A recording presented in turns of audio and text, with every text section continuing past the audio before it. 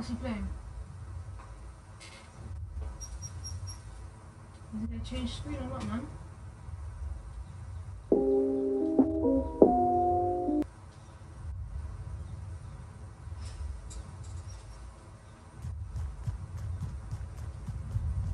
Wait, first